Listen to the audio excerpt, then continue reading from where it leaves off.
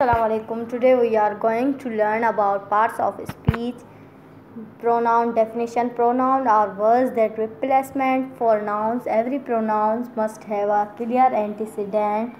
Examples: I, it, he, she, mine, his, hers, we, they, theirs, and ours. There are different types of pronouns personal pronoun, demonstrative pronoun, distributive pronoun, interrogative pronoun, relative pronoun, indefinite pronoun, reflexive pronoun, reciprocal pronoun. Personal pronoun personal pronouns can be the subject of a clause or, or, or sentence. Examples in words I, we, he, she, it, me, his, her. Examples in sentence we know the matter very well. He came in the evening. Demonstrative pronoun. Demonstrative pronouns can be used for many person or thing. Interrogative pronoun. Interrogative pronoun is used to ask questions. The interrogative pronouns are who, what, which, what, whoever, whatever.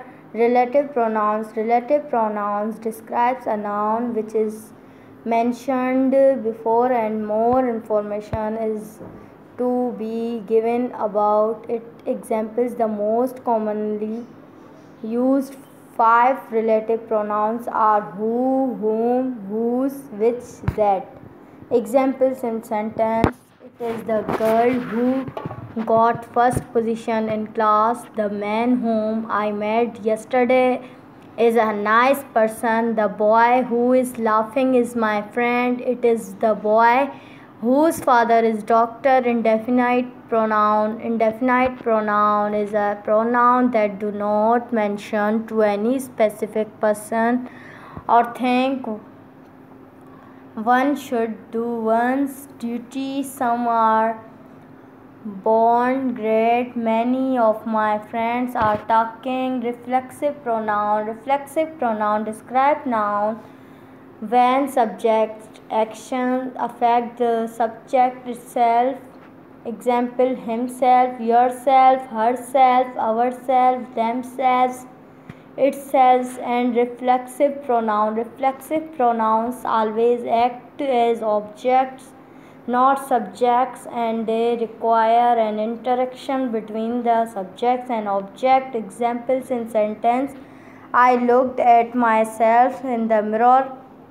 You should think about yourself. They prepared themselves for complete completion. Reciprocal pronoun. This pronoun refer relationship with each other. Examples in sentence tamal and kamal helped each other. All students are talking to one another. Distributive pronouns are distributive pronouns. Considers members members of a group separately rather than collectively collectively. Examples in sentence each of the boys get gets a prize everyone has done the sum. Thanks